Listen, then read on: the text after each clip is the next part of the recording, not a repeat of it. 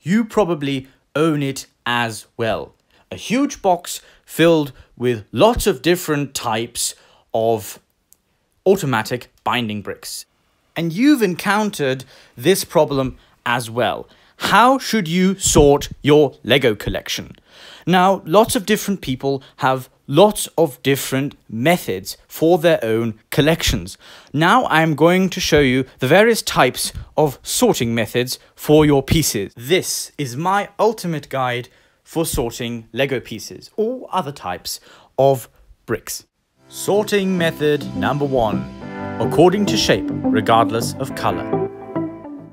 This method is especially useful for people who own very large collections of Lego sets. You know, people who have uh, at least 100 different sets. Furthermore, this system works with transparent drawers.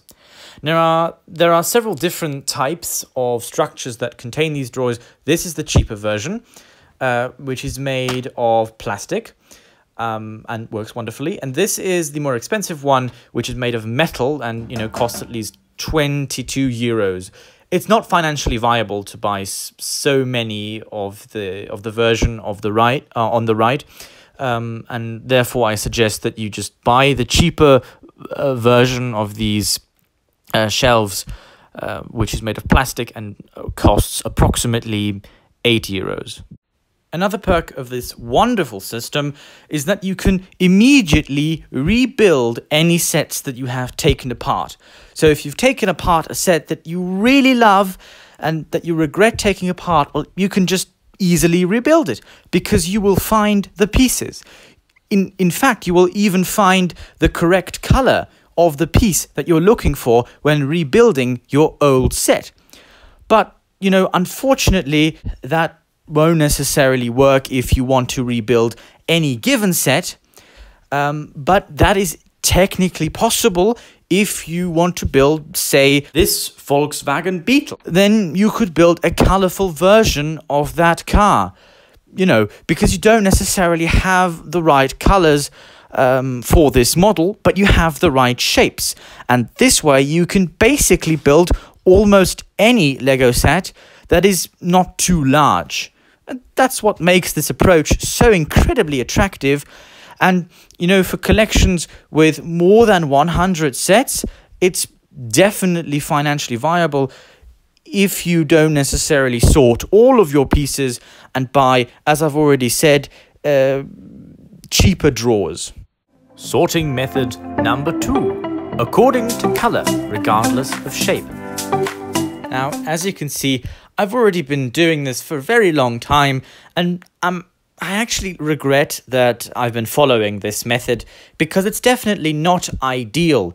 The human brain would immediately think that it's best to sort according to color, but the human brain is fundamentally wrong there because the biggest problem with this is that you won't find the specific type of piece that you are looking for. However, if you have a very small collection, if you have a collection that is smaller than 100 Lego sets, then I think you should still this you should still choose this method. So if you have small collections, then I promise you this is the best approach because it's financially most viable and also the most straightforward. Sorting method number 3, according to shape this is actually the system that Lego uh, uses for the uh, last pages of your instruction booklets. And this system is actually virtually perfect. However, please beware of the downside. It's not very financially viable to sort both by shape and color because you probably don't have enough money to buy those shelves, even if they just cost eight, eight euros each, which makes them a little more financially viable, because ultimately you will just end up with far too many shelves and drawers that aren't exactly full unless you know you have a lot of pieces that are very common. So i only recommend this approach for collections that are very large.